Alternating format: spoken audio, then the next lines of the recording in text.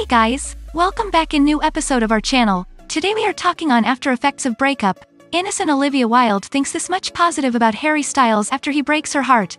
Let's watch details in this video. Give it a thumbs up and don't forget to share with your friends. Olivia Wilde was under the impression that she and Harry Styles would mend their relationship. But before exclusive details, please subscribe our channel and hit bell icon. It definitely helps you to watch what we are watching. An insider told People magazine that the Don't Worry Darling director is disappointed after things between her and Styles ended due to a tricky situation. The break has been difficult for Olivia. They have had some issues, but Olivia thought they were going to work through it all, the source said. For the unversed, Wilde and the former One Direction band member decided to take a break after a year-long romance.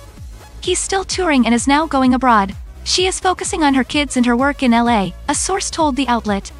It's a very amicable decision.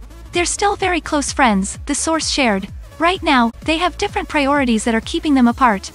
However, another insider spilled to OK magazine that Styles is the one who broke it off because the negativity surrounding her life became too much to handle for him.